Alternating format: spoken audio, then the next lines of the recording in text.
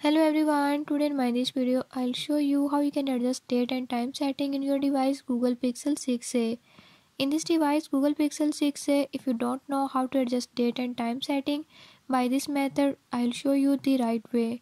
Before I start, if you are new to my channel, don't forget to subscribe and press bell icon.